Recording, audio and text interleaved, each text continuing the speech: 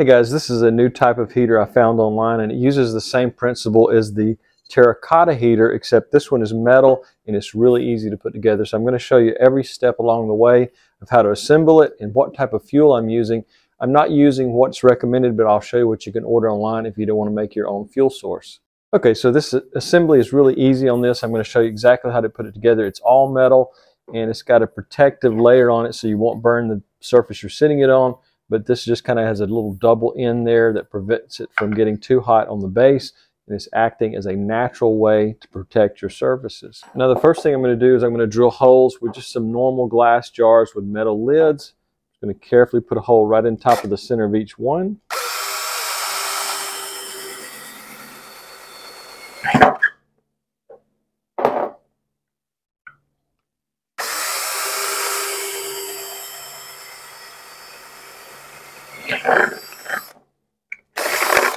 Right? And that's where our fuel is going to be. And we're going to use a special type of wick on each one of these, a wick that will not burn up and it will last virtually forever. Now we're not using a standard wick. We are actually using plumber's felt or carbon felt. And so we're just going to cut this to fit inside. We're going to make two separate wicks. And so I'm just going to cut this very quickly. I can get it cut there. It's a little hard to cut with scissors. I probably can use a razor blade to cut a little bit better. This can be ordered online. I can put the links to all of this in the description. And so we want the wick to be just slightly taller than the jar. So our wick will come out. We don't want it coming out too high. We just want it coming out just out the top. So we're just going to make it mm, about the same height as the jar, just slightly taller. So I'm going to cut that across there.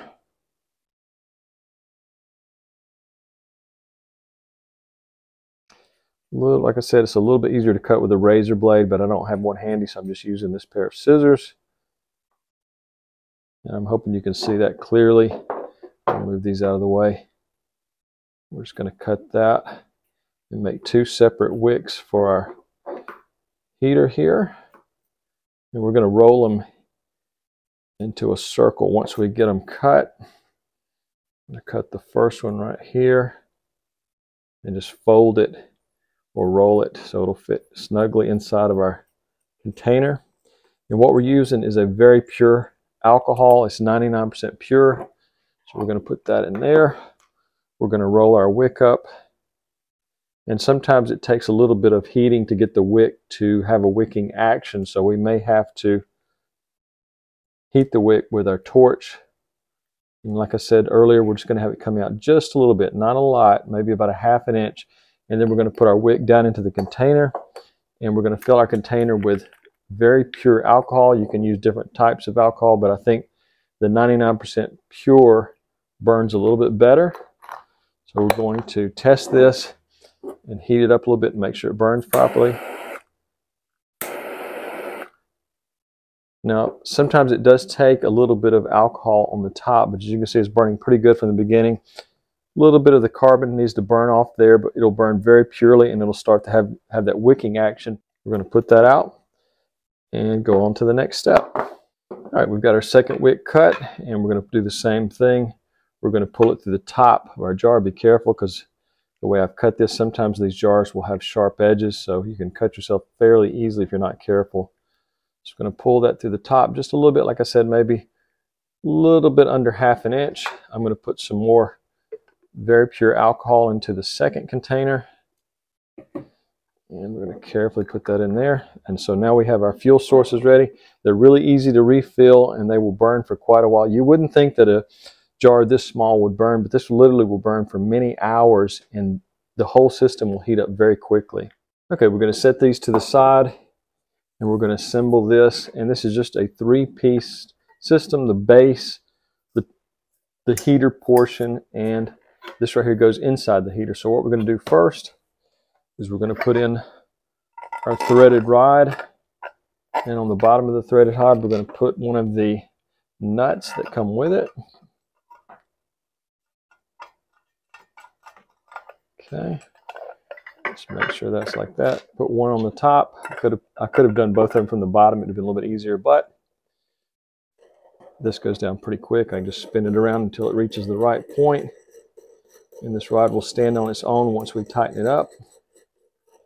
It'll take me a second to get it down there. And we're just going to tighten it from the base, flip it over, and then tighten in two directions until our rod is now very tight in there and it's not going to move. So make sure we get it as tight as we can by hand. We can come back with a tool, wrench or whatever. And the next thing we're going to do, we're going to put this piece on. Got to put this in first. I guess I should do that. That's going to be the base that holds that in place. And we can adjust the height of that fairly easily. And that's going to sit on like that. We're still a little bit too, a little bit too low, so I'm going to raise it up until we get it at just the right point. We only want a small amount of the threaded rod coming through to the through the top, so we may have to manually adjust it till we get it at just the right height. Okay. Now we're going to put our second nut on there so we can hold that in place so it doesn't move.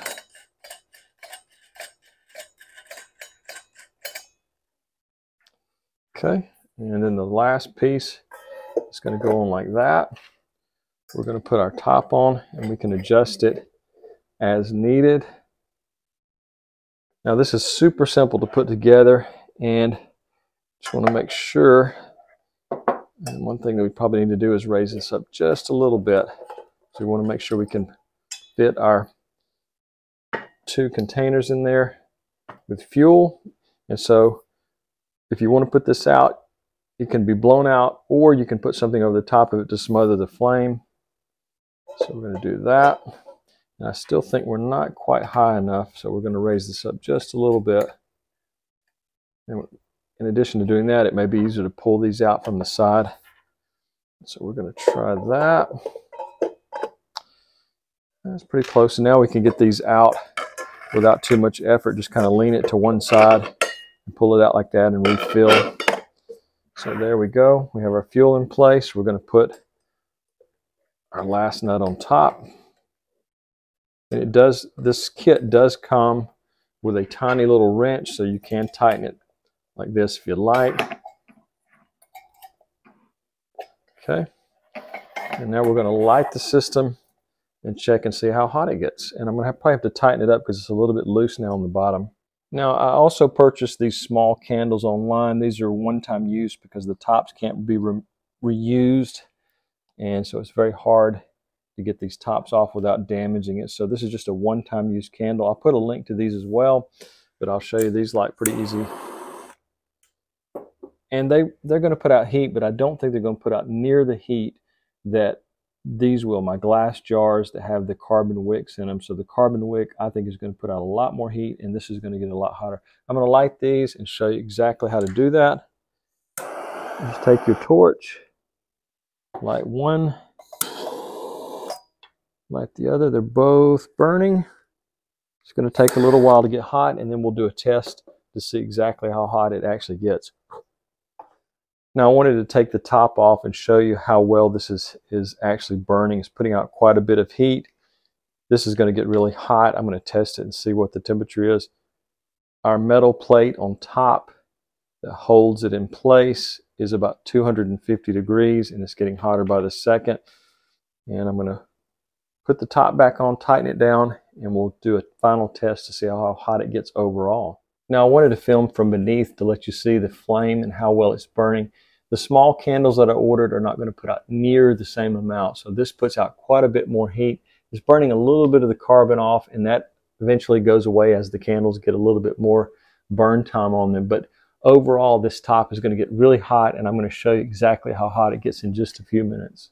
All right, so it's been burning for less than five minutes and it looks like it's getting about 460 degrees.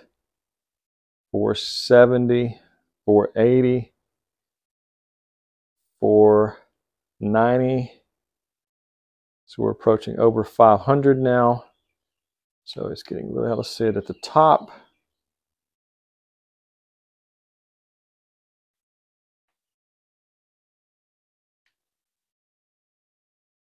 Okay, I've seen it hit 550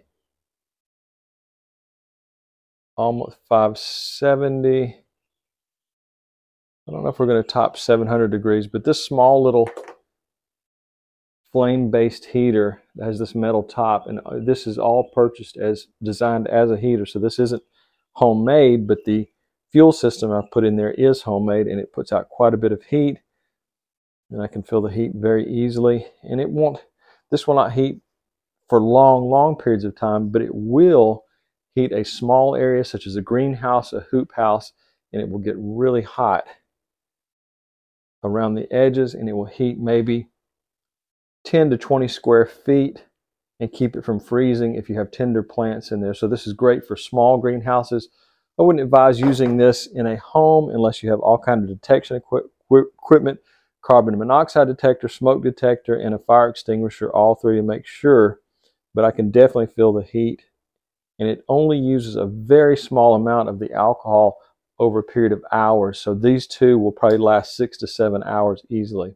Now I will recommend that if you're using this in a finished area of your home that you set it on the stove where it can self-ventilate out the exit of your stove or if you have a fireplace that's not being used you can set it in the fireplace and have a fan that's directing the heat out.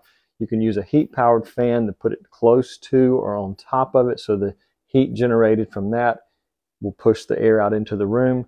But just remember, this is not for really for home heating. This for me is I'm using it as a supplement to my greenhouse heating. Small, I have a smaller greenhouse and also some hoop houses. I'm going to be using this to prevent it from freezing my tender plants. Now I've disassembled the first heater and I've ordered a second one online that I thought was interesting. This one you can actually cook on or you can put a thermoelectric fan on. This is the thermoelectric fan I'm referred to. It's powered by heat. When the base of this heats up, the fan will push the heat around the room. You can just set it here. That's where it's going to get hot. You could also cook up there if you wanted to. But I'm, I'm going to light this, show you how hot it gets, and actually demonstrate the fan actually working. So let's find our torch. I'm going to relight this. Lights right up. We're going to put our second one. I'll put a link to this one down below. But as you can see, you can cook on top of it. Put that on top. Put our thermoelectric fan there and give it a few minutes to heat up the top of that and you'll see movement of the fan pushing the heat around the room. So as you can see, once the base of it heats up, you'll get that thermoelectric reaction in your fan. No electricity required and it will just continually run and push the heat around the room or your hoop house or your small greenhouse and it will definitely make a difference. It will prevent your tender plants from being frozen. So it's just one of those things that you have to kind of experiment with, try different types of fuels. I think the more pure fuel, like the higher grade alcohol, that's going to put out less smoke and just want to make sure that you have all the safety equipment such as a carbon monoxide detector, smoke detector, and a fire extinguisher. And like I said, you don't want to sleep with this in your house. You want to put this just as a supplemental thing. I'm using it in my greenhouse and that's the only place I would use it. I might put it in my fireplace where there would be natural ventilation for the fumes going out or on the stove where fumes would go out through the roof of the house from the ventilation system there. So guys, as you can see by my previous videos, I love experimenting with different forms of heat for my greenhouse and my hoop house. This isn't necessarily br to bring an interior area of your home up to a very high temperature. I've got a video that's very similar in production. It uses terracotta. I'll link that one up above as well so you can see the terracotta heater but I've got a lot of different heater types using a lot of different fuels. So if you'll just take a look at them, you might find one you really like. My favorite, several people have asked me what's my favorite. It's actually a passive heater that uses large containers filled with water and uses sunlight to heat them and that really helps the greenhouse as well. So all of these things combined that I use over time really makes a huge difference and it prevents my greenhouse from getting below 33 or 34 degrees at nighttime when it's really cold outside. So guys, if you found anything helpful in the video or if you have a comment or you hadn't even have another idea for heating a greenhouse or a hoop house, please leave it down below in the description because I'm always wanting to experiment and try different things. So I hope you'll like and subscribe and have a great day.